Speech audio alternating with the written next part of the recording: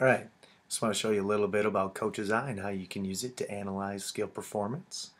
Um, you can see on the left hand side there are a bunch of different selection tools and again you can obviously use the selection tools in many different ways. I'm just trying to show you a few uses of them as of right now. Um, you can see though there are some straight lines, you've got some arrows, things like that. Now there are some of them that are uh, on the bottom side that aren't free anymore. Um, you might have to pay a little bit more to use those. Um, there's a little clear tab on the bottom right, so if you ever want to clear the anything off that you've drawn, drawn, you hit the clear tab. You've also got a scroll bar at the bottom, and this is why it's called stop motion video analysis because you can scroll, stop, again, analyze at any point in time.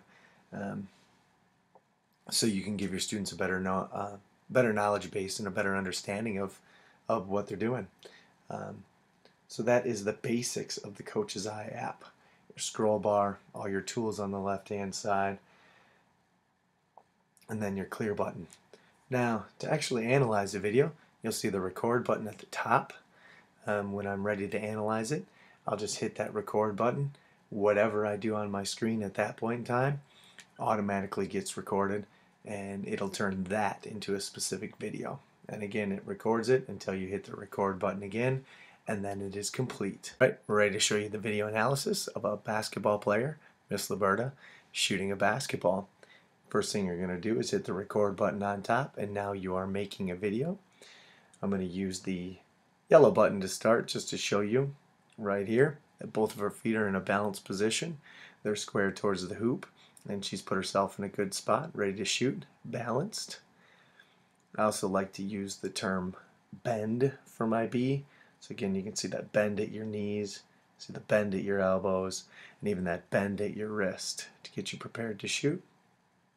You can also see that her eyes are focused right here on the rim, just like they should be. So nice work there. She's going to start her extension. So you can see great extension through her legs, perfect extension through her arms.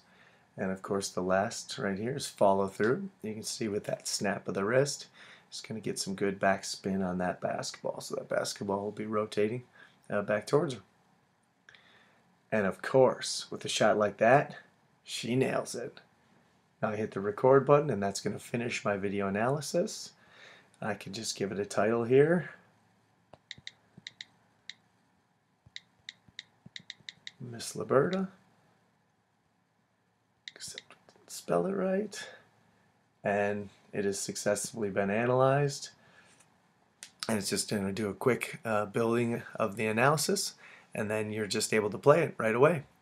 And that is an awesome. Last video analysis I want to show you is just a strategy video analysis, and this was for Team Handball. And my students did this, and they were looking for three objectives. First objective was that you have someone that knows how to block shots. So he's actively blocking a shot and knocking it down as a goalie.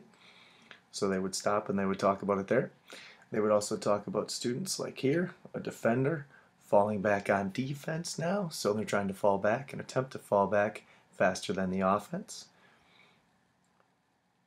And then the last thing that they're going to talk about is the defender positioning themselves between the object which was the person with the ball, and the person without the ball, uh, where it's trying to go to. And then they'll show that they intercepted it and they played some really good defense by positioning themselves well. And then the last time they also showed was our two yellow players falling back quickly on defense with haste. Another great way to use video analysis.